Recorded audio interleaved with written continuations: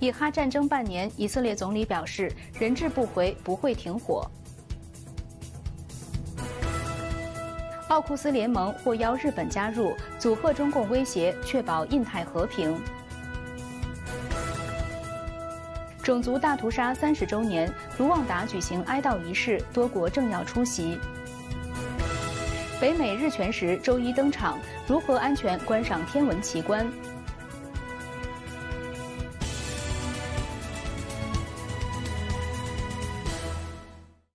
大家好，欢迎收看全球新闻。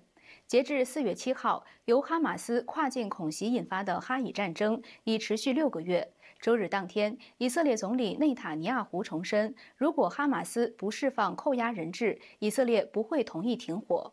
העברתי לקהילה הבינלאומית, לא תהיה הפסקת אש בלי החזרת חטופים. זה פשוט לא יקרה. 周日，以色列总理内塔尼亚胡在内阁会议的讲话中强调，以色列不是阻碍达成停火协议的一方，罪魁祸首是哈马斯。他表示，以色列不会屈服于内外压力以及哈马斯的极端要求。דרישותיו הקיצוניות נועדו להביא להפסקת המלחמה והשארתו על כנו. זאת אומרת להבטיח את הישרדותו, את שיקומו, את היכולת שלו לסכן את אזרחינו ואת חיילינו. 四月七号是哈以战争爆发六个月。内塔尼亚胡表示，以军已经消灭了哈马斯二十四个营中的十九个，距离胜利仅一步之遥。以色列有决心取得战争的全面胜利，并让所有人质回家。周日，以军发言人称，以色列已从加沙南部撤回更多地面部队，目前只留下一个旅。不过，以色列军方没有详细说明撤军的原因和人数。白宫国家安全委员会发言人科比当天表示，以军裁减部队似乎是一次休整，并不意味着有任何新的行动。同一天，许多遇难者家属聚集在六个月前发生恐袭的音乐会场地，对死去的亲人表示哀悼。他们亲吻逝者的照片，无法掩饰心中的悲痛。My daughter was 22 years old.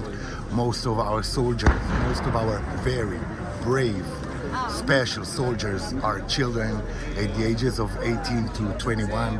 So this is a war of children. 据以色列官方统计，在哈马斯去年十月七号的跨境空袭中，约一千二百名以色列人失去生命，另有超过二百五十人被绑架。在以色列本周初误炸援助车队，导致七名人员丧生之后，以色列面临越来越大的国际压力。美国曾要求以色列改善加沙的人道主义状况，并努力实现停火，甚至表示这可能会关乎美国对以色列的援助。不过，内塔尼亚胡表示，在释放人质才能停火的政策上，美国与以色列的立场一致。新唐电视台记者易静综合报道。周日。美国财政部长耶伦在北京和中共总理李强会晤，耶伦提出了对中国产能过剩等问题的关切。来看报道。I believe that over the past year, we've put our bilateral relationship on a more stable footing. This is not meant ignoring our differences or avoiding tough conversations. 耶伦在与李强会晤时，表明对处理双边关系的态度。As the world's two largest economies, we have a duty to our own countries and to the world to responsibly manage our complex relationship. 耶伦还直接向李强提出了遏制中国过剩产能的要求，李强则辩称要辩证看待产能问题。耶伦这次访华的首要任务就是说服中共官方控制在电动车、太阳能板和其他清洁能源技术领域的产能过剩问题，因为这威胁到美国及其他国家的企业竞争力。周六，耶伦在广州与中共副总理何立峰会面时，指责中共政府不公平地对待美国与其他外国公司，并敦促北京回归过去的市场改革。耶伦还警告中企不得为俄罗斯入侵乌克兰提供战争物质支持，包括对俄罗斯国防工业基地的支持，否则将面临重大后果。中共官媒对此低调处理，却热炒耶伦在广州选择地道粤菜，筷子用得不错。时政评论员李林一认为，耶伦是拜登内阁中少数几个对华鸽派官员之一。中共希望能利用耶伦此行进行宣传。不过，单靠耶伦访华不会改变美中关系的基本面，而中共的借机宣传也不会对目前局面造成任何的改观。新谈记者袁明新、江迪亚综合报道。英国媒体近日披露，为了应对中共日益升级的威胁，美英澳成立的奥库斯联盟可能将扩员，邀请日本加入。来看报道。《金融时报》四月六号引述消息人士称，美英澳三国国防部长将于下周一宣布启动与奥库斯协议第二支柱相关的扩员谈判。美英澳的奥库斯协议有两大支柱，第一支柱主要内容是向澳大利亚提供核动力潜艇。第二支柱则聚焦量子运算、海底能力、人工智能、高超音速能力等新技术的合作。报道称，一些美国官员正在推动日本加入奥库斯协议，共同抵御中共的武力扩张，维护印太地区和平。美国驻日本大使伊曼纽尔四月三号在《华尔街日报》发文说，日本将成为奥库斯第二支柱的合作伙伴，但他没有透露何时会正式公布此消息。日本首相岸田文雄四月十号将对美国进行国事访问，以扩大安全合作。届时，两国可能将探讨日本加入奥库斯的议题。二零二二年十二月，日本政府批准了三份安全文件，明确将中共列为最大安全挑战，并将国防开支增加一倍。此举标志二战后日本安保政策的最大转变。美国、英国和澳洲三国在二零二三年发起奥库斯合作协议，应对中共威胁的意味浓厚。新唐电视台记者于良综合报道。周六晚，美国前总统川普在佛州棕榈滩的筹款活动中募集了五千零五十万美元，打破了候选人的单场筹款记录。来看报道。川普的筹款活动在亿万富豪保尔森的棕榈滩家中举行。川普携夫人梅拉尼亚在抵达时表示，这将是一个壮观的夜晚，并鼓励选民在美国最重要的历史时刻——十一月五号出来投票，改变美国现状。People are just wanting change. Rich people want it. Poor people want it. Everybody wants change. Our country is really doing poorly. We're a laughing stock all over the world. It's going to be the most important, I believe, election we've ever had. I think it's going to go down as the most important date in the history of our country. That's November 5th. 川普这次成功募集五千零五十万美元，打破共和党或民主党候选人历来的单场筹款记录，反映了共和党高层和捐款者对他再次竞选的支持。川普和共和党在筹款方面一直处于落后。拜登竞选团队表示，他们上个月得到超过九千万美元，筹款总额超过一点九二亿美元。新谈记者徐哲、张瑞琪综合报道。四月七号是卢旺达大屠杀三十周年，卢旺达总统当天主持了悼念活动，表示希望种族屠杀的悲剧不要重演。多国政要出席了活动。周日，卢旺达总统卡加梅在首都基加利与来访的多国政要举行纪念仪式，并向种族灭绝纪念碑敬献花圈。美国前总统克林顿、法国前总统萨科齐。比利时首相、现任欧洲理事会主席米歇尔、埃塞俄比亚总理阿比艾哈迈德、尼日利亚前总统奥巴桑乔等出席了纪念活动。Our hearts are filled with grief and gratitude in equal measure. We remember our dead and are also grateful. For what Rwanda has become？卢旺达是非洲人口密度最高的国家之一，由胡图族、图西族和特瓦族三大族群组成。一九九四年四月七号，该国胡图族激进分子开始系统屠杀图西族和部分温和派胡图族，屠杀持续了一百多天。据学术界估计，有五十万到八十万人遇害。卢旺达总统卡加梅表示，希望各国能吸取卢旺达大屠杀的教训，不要让种族灭绝的悲剧重演。Our journey has been long and tough. Rwanda was completely humbled by the magnitude of our loss, and the lessons we learned are engraved in blood. 出席活动的各国政要对卡加梅两千年担任总统以来的努力表示赞赏，特别是在化解民族矛盾方面。卡加梅掌控政局后，图西族和胡图族基本实现了和谐相处，卢旺达各方面得到长足发展。新唐电视台记者于良综合报道。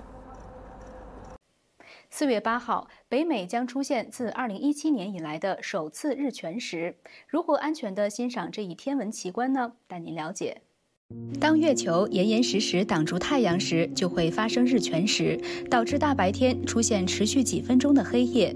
四月八号，日食将从太平洋开始到达墨西哥，然后沿着东北方向从德州斜切穿过美国十五个州，进入加拿大和北大西洋。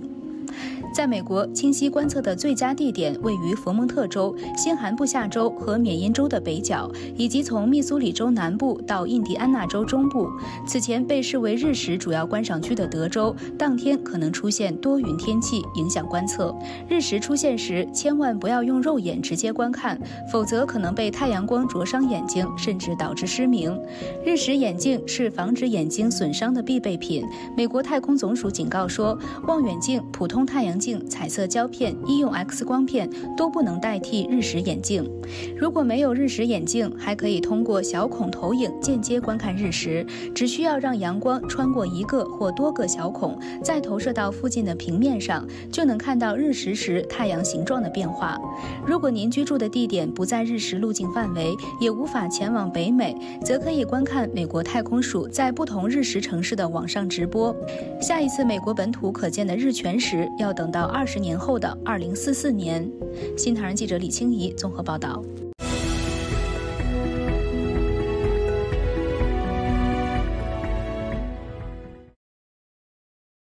福建宁德市访民李惠才儿子因车祸丧生，肇事者逍遥法外。他多年上访维权，实名举报公安局副局长徇私枉法，包庇凶嫌，不但求告无门，反遭打压迫害。今年二月十九号，五十八岁的李穗才在平南县朋友的一间店铺内被闯入的平南县公安局便衣警察带走，家属随后收到所谓刑事拘留通知书。李穗才他是被以涉嫌寻衅滋事罪给捉捕了，现在是羁押在宁德市看守所。下面的话就是要走法律程序了。浙江左契律师事务所的季中九律师为他们代理。律师说，这个案件其实也是口袋罪，就是随便给他安了一个罪名。二零一五年，李穗才的儿子陈昭志和女友张小梅死于平南西山县公路一百九十七公里处。一名叫莫明辉的男子驾驶二轮摩托车撞死两人后归案，但在警局做完笔录后就被释放了。而死者张小梅就是莫明辉的前女友。李穗才的同村访民陆作玉告诉新唐人，因为案件有许多疑点和纰漏，李穗才和家人对交警的裁决不服。因此上访维权。那个交通事故责任认定书已经被作死掉了，就是肇事者一点点责任都没有。他认为他孩子的死亡以及那个公安办案的那个程序有很大的出入，有很多连办案人员他都无法解释的现象嘛。李穗才大姐当时用民事的方式的话去起诉，要求莫名为赔偿，但是这个法院是不支持的。平南县公安局当时分管交警的副局长林松涛是莫明辉的舅舅，直接领导经办交警陈怀。李穗才因此多次实名举报林松涛和陈怀徇私枉法，包庇莫明辉故意杀人。因为上访和举报，李穗才多次遭到非法关押。去年二月被当地政府从北京带回来刑事拘留，后被取保候审。运用法律去维护自己合法的权利，在任何一个正常的国家来讲，都是应该受到国民的支持的一种行为，而且也是非常的和平理性的一种抗争维权的方式。中共显然他们也很清楚，这些公民走在维权的路上，他们并没有任何的违法犯罪的行为，所谓的寻衅滋事等这样的一个口袋罪的罪名来对这些公民呢进行这个打压。体现出了他这个政权的流氓的本性。新谈记者夏敦侯、王艳桥采访报道。来看本期的两岸扫描。中国广东近日连遭暴雨袭击。周日二十三点左右，在北江下游控制站石角站出现了创纪录的每秒一万三千立方米的洪峰流量。在广东清远市，洪水淹没了北江沿岸的一个公园和店铺，许多汽车泡在水中。洪峰过后，水位缓慢下降，这也是一九九八年有统计数据以来，中国主要河流出现时间最早的洪水。自新冠病毒疫情在武汉爆发以来，中共当局一直掩盖相关真相。近日，中国大陆的一位主任医生向大纪元透露，他所在医院的呼吸科住院患者爆满，没有床位。这位医生说，新冠疫情从未结束，病毒毒性不但没有减弱，甚至比以前更加凶猛。但中共当局严控医生，要求医生销毁所有疫情资料，不准检测，不准承认新冠疫情等，否则就送精神病院。中国男足前主教练李铁受贿案涉案金额高达近一点二亿人民币。在周六晚凤凰卫视播出的纪录片《反腐风暴：从足坛到体坛》中，原大连足球俱乐部总经理石雪清透露了李铁被带走的细节。当时李铁正在大连接受再教育培训，一个小女孩悄悄来到李铁的座位，告诉他外面有人找。李铁没多想，站起来就出去了，手机、笔记本等还放在座位上，结果再就没回。回来，从此从公众视野消失。三月二十八号，李铁案开庭，李铁当庭认罪，法庭宣布将择日宣判。周六，浙江市民微博账号“美食美景奔尼”发文说，四月四号下午，他在家里用国内手机联系新加坡大华银行讨论工作，竟触发中共公安部反诈中心机制而遭到警方骚扰，其名下所有的银行卡，包括支付宝，都被警方冻结。二零二一年，中共公安部强迫民众安装反诈 APP，调查发现，这款 APP 不但可以监控用户收到的短信。存取通话记录，还可以取得用户输入的数字信息，包括密码。专访美国作家揭露虚假的女权主义。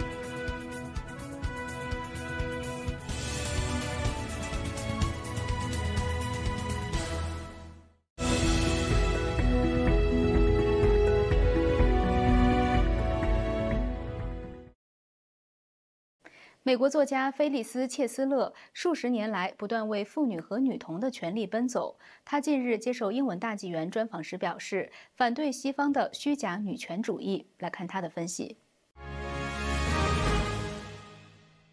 So we landed in Kabul。我们降落在喀布尔，这是很久以前的事了。那时还没有塔利班，机场工作人员顺利地收走了我的美国护照，说：“没问题，女士，我们会把它还给你的家人。”我再也没有见过我的护照。后来我发现我公公有三个妻子，二十一个孩子。菲利斯·切斯勒出生在一个美国犹太人家庭。一九六一年，二十岁的她与新婚丈夫一起前往阿富汗，进入一个传统的穆斯林家庭，但很快就被剥夺了权利。这些权利被视为男性家庭成员的财产。逃回美国后，切斯勒参与民权运动和反战运动，学习心理学，获得了博士学位，并开始为妇女和儿童争取权益，公开反对西方的虚假女权主义。A faux feminist is someone who has given up. 虚假的女权主义者放弃争取基于性别的权利，完全投入各种性别认同，在全球女性问题上迷失了。他们不支持为自由而战斗而献身的伊朗妇女，也不支持塔利班统治下的阿富汗妇女，也不支持遭受暴行屠杀和强奸的以色列妇女，因为这些人相信性别认同而不是实际性别，可现实中没有这样的事。根本没有客观性这种事，这是妄想，是大灾难，是自杀性思维。我不知道需要多长时间才能让人摆脱这种想法。在一次偶然机会，切斯勒参与营救了三百九十八名阿富汗女性。他有一天，也许是一年后，打电话给我说：“你想帮助营救阿富汗女孩和妇女吗？”我说：“我一辈子都在等这通电话。”我们做到了，我们救出了三百九十八名妇女，没有政府的帮助。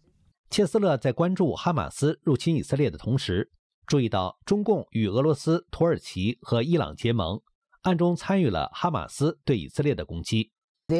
Persecution of practically everyone. 他们对几乎每个人的迫害众所周知，但他们非常霸道。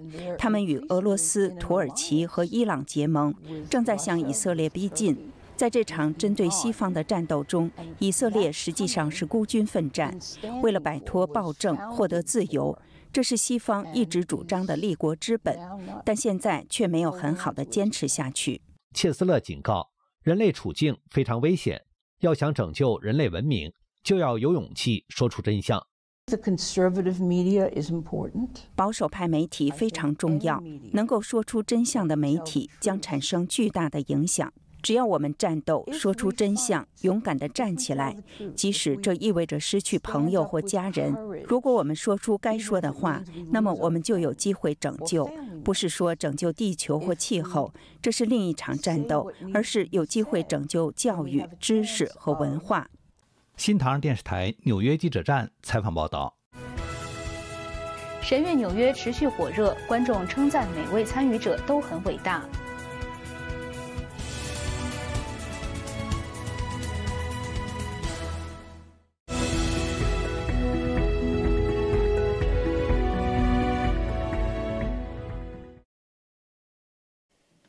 四月六号晚上，神韵环球艺术团在纽约林肯中心的第五场演出再度提前售罄，并获得满堂喝彩。